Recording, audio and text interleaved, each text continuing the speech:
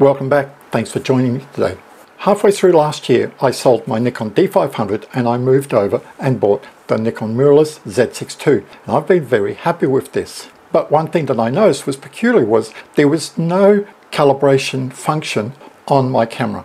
The Nikon D500, the Nikon D7500 had a calibration function on the camera. Today, I want to show you how I went about calibrating my Nikon Z6 II to the 200 to 500 to get pin sharp photos.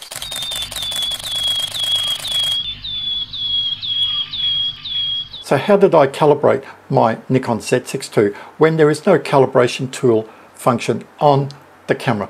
Like I stated that the D500 had and the Nikon D7500 had. Well, I could have gone out and bought a calibration tool, but that would have been quite costly and I go like, there are better ways. And I thought about it and I go like, well, I'm going to calibrate it using these three fruit juice containers. And the way I did it was I put the camera on the tripod with the lens and I set up these three containers around 8 to 10 meters away from me. They weren't all in a line. The middle container was set further forward. The one on the left was set around a centimeter back. The one on the right was set about two centimeters back because that way I could see whether the lens was forward focusing or whether the lens was back focusing because this is the problem sometimes with FX lenses. Now I've got to state that if you're using the Z6 II, Z7 II with FX lenses, your lenses might be great.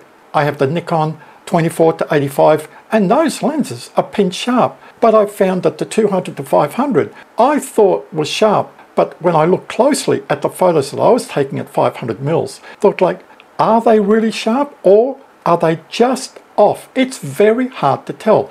And this is why I decided to test whether my lens was accurate at 200 and whether the lens was accurate at 500. Because even though the Z cameras, Z6, Z7, don't have that calibration tool inside, what they do offer is that you can calibrate your lens at two different focal lengths unlike the calibration tools on the digital SLRs where you're just given the option of choosing one focal length. So you can try to calibrate at 200 and 500, but then you've got to even up to see which number you choose. If you shoot at 500, well, you're going to say, oh, I'm just going to shoot at 500. But if you're shooting 200, 350, 500, then you might decide, well, I'm going to take an average of them. The Z6, the Z7s, they have the option that you can set wide and telephoto. Now I will show you how I did it by going inside the menu of my Z6 II to show exactly how I went about and then I'll show you the photos and how I saved the settings at the end. So I went into the menu and from the camera icon I went down all the way to the spanner. Then I went across and I went down until I got to the AF fine tune options. You can see on my camera here, it's set to on. If you haven't fine-tuned a lens before on your Z camera, it will be set to off. But I've fine-tuned lenses before, so it's set to on. I go across and I come down to fine-tune and save lens. So I go across here and you can see both settings, wide and tele, are set to zero. So what I did, I started with wide and I went all across to minus 20, then went to tele and did the same thing, went to minus 20.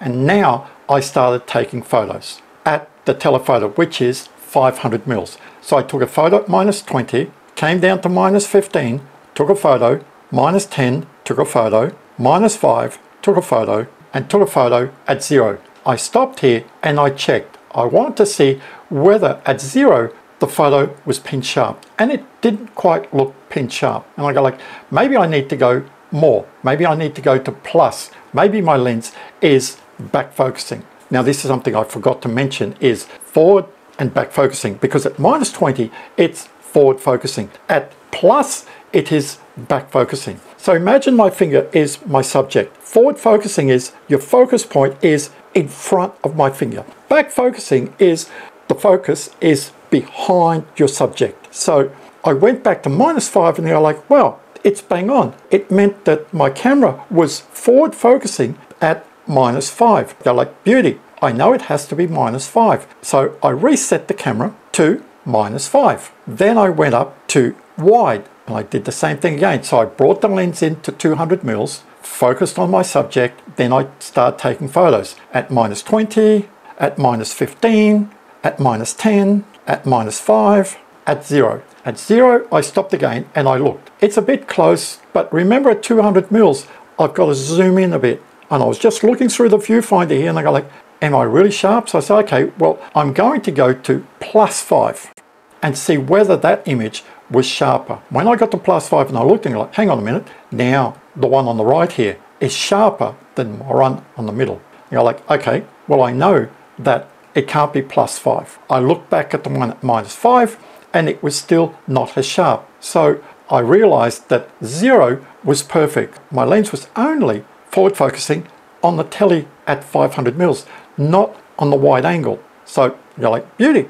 I just brought the setting back down to 0 on wide and now I knew that those two settings were correct. But that was just looking through the viewfinder. Before I save anything, I want to make sure that everything is correct. So I shut the camera off, took the SD card, went on my computer, downloaded all the photos because I shot all these photos in JPEG to make it very easy to look at and I zoomed in on all the photos and I'll show you the photos now. And I looked at the photo at 500 mils at minus 20, at minus 15, at minus 10, at minus 5 and at 0 and I could see that the way I'd looked on the LCD screen was correct. Minus 5 was the sharpest image.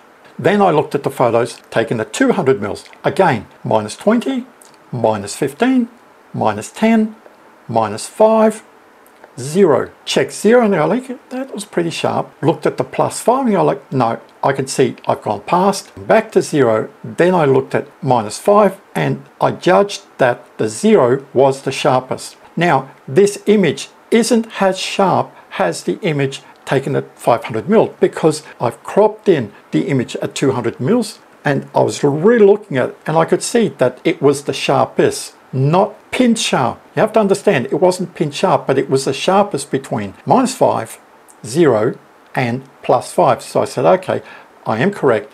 0 was the correct number. I went back outside, got onto my camera. These are my correct settings. I clicked OK. Then I turned AF fine tune. Now you can see down the bottom, it has list save values. This is if you're having more than one lens. And I can click to the right and you can see my list values for lenses is just one, the Nikon 200 to 500 mm. If you have more FX lenses that need fine tuning, you can do this and the camera, once it's listed on the values here, especially if they're Nikon lenses, the camera will detect the lens. So if I have a Nikon FX 70 to 200 or like my 24 to 85, I do the calibration and when I put the lens on my camera, it will detect saying, okay, well, you've set up fine tune for this lens, it will swap. Let's say if it was number two, it will swap to number two. So that is how I've set up my Nikon Z6 II to the Nikon 200 to 500. So thanks for watching. If you found value in the video, give it a big thumbs up. If you haven't subscribed, please do.